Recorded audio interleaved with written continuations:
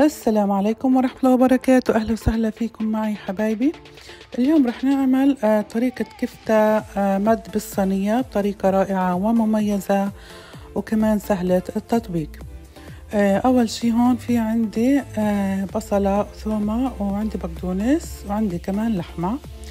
اللحمة اللي أنا مستخدمتها لحمة بقرية.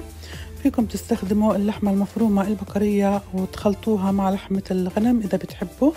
آه، أنا عن نفسي آه، ما بحب طعم الغنم في اللحمة المفرومة فأنا بستخدم اللحمة البقرية. آه، اللهم صل وسلم على سيدنا محمد وآله أجمعين.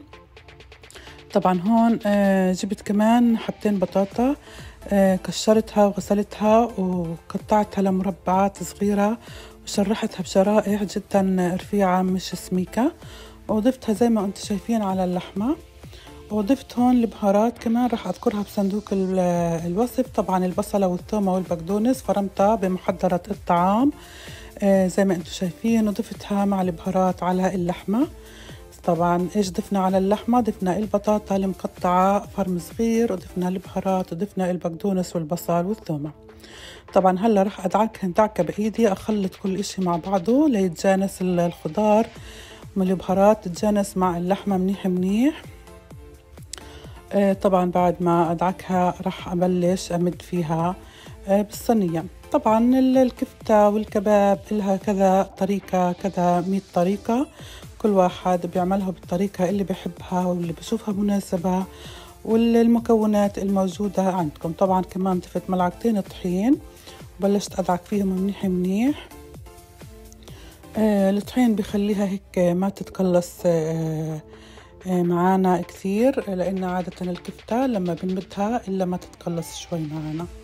آه، بالضبط. طبعا هون بعد ما دعكت آه، خلطت جميع المكونات هلأ بدي أجيب صينية. رح أجيب أي صينية متواجدة عندكم. أنا جبت هاي الصينية الألمنيوم رشيت فيها رشة من زيت الزيتون. طعم زيت الزيتون جدا طيب مع الكفتة طبعا. وهلأ رح أدهن الصينية بزيت الزيتون وراح أمد الكفتة بالصينية. زي ما أنتم شايفين بايدي هيك راح أمدها. أحاول أوزعها على جميع الصينية اللي نسكر فيها كل الصينية بهاي الطريقة. بلشت أخبط فيها على إيدي مشان تمد معي منيح منيح بايدي خبطتها. وهيك بعد ما مدينا لحمة الكفتة أو الكباب بالصينية. طبعا هلأ آه هيك بروس أصابعي راح أحززها بهذا الشكل. راح أحززها دوائر. عندي كمان خضار راح أضيفها عليها. راح أضيف عندي بندورة كرزية وعندي بصل كمان وعندي فلفل حار. آه بالنسبة للفلفل إذا ما بتحبوا الفلفل حار أو بتتجنبوه عشان أولادكم حطوا الفلفل الرومي أو الفليفلة الحلوة. آه طبعا هذا الإشي بيرجع لكم كيف انتو بتحبوا آه، طبعا هون بعد ما حززت الصينية بروس أصابعية زي ما أنتم شايفين راح أبلش أصف الخضار. حطيت في أول آه، وحدة حبة بندورة كرزية. البندورة الكرزية هاي من بندوراتي اللي أنا زارعتهم. جدا طعمها مميز عن البندورة اللي بنشتريها من السوق. طعمها بلدي طعمها على حموضة كتير كتير طيبة. وبرضو الفلفل الحار بلشت أصف فيه ورح أصف كمان هذا الصف كليته بالبندورة الكرزية المدورة. شوفوا ما أحلى منظرها كتير كتير بتجنن مثل الخرز. وعندي بصل شرايح برضو آه، صفيت فيه آه، خط حطيته يعني بصل أبيض. فيكم تحطوا أي نوعية بصل موجودة عندكم بصل أحمر بس آه، بحس إنه البصل الأبيض أو البصل الحلو بكون أطيب مع الكفتة. طبعا زي ما أنتم شايفين صف فلفل حار صف بندورة كرزية عفوا خط بصل أبيض خط فلفل خط بندورة كرزية نوعية ثانية. وهيك صارت صينية الكفتة المد آه جاهزة. راح أرش عليها. رشة بسيطة من الفلفل الأسود رشة من زيت الزيتون وأغلفها بالقصدير وهيك بتصير عندي جاهزة إني أدخلها.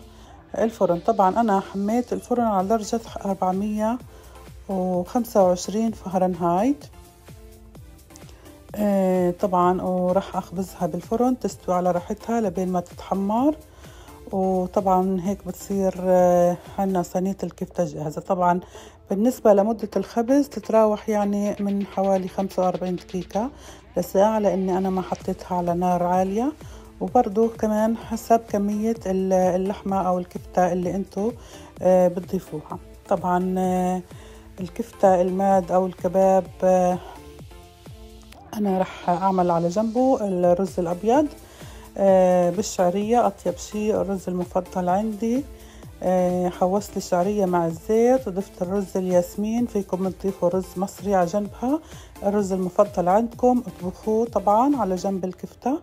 رشيت رشة من الملح. طبعا رح أضيف عليها الماء وأترك الرز يستوي على راحته. بالنسبة للكفتة فيكم تتناولوها مع رز فيكم تتناولوها بالخبز ال pita bread أو الخبز البلدي أي نوع خبز أنتم بتفضلوه. طبعا هون بعد ما استوت وتحمرت ما ولعت الشواية اتحمرت من نفسها طلعناها هيك. شوفوا منظرها بشهي والرز كمان صار عنا جاهز. وهلأ موعد السكب موعد التذوق. طبعا الكفتة والأشياء هاي. طيب نحط جنبها بصل أخضر مخلل فجل أي نوع خضار أنتو بتحبوه فلفل حار زيتون أي شي بتحبوه. فيكم تتناولوا معها خاصة إذا تناولتوها مع الخبز. طبعا أنا عملت رز لأن أولادي بحبوا يتناولوها مع الرز الرز الأبيض مع الشعرية بشهي كتير طلع معاها. وفعلا الذوق والطعم جدا جدا رائع. البطاطا اللي نعمناها وشرحناها رفيعة وخلطناها مع اللحمة كثير كثير كانت طيبة معاها. جربوا هاي الطريقة حبايبي وأنا متأكد إنكم راح تحبوها. طبعا أطيب شي مع الخضار كمان نتناولها زي ما أنتم شايفين. شوفوا لي هالصحن ما أحلاه. جدا صحن رائع ومميز. ووصفة كمان يعني آه سريعة ولذيذة. طبعا فيكم تشربوها من نفس الصوص اللي بينزل منها. طبعا الصينية هاي ما ضفنا لها أي صلصة بندورة بس اكتفينا بحبات البندورة الكرزية.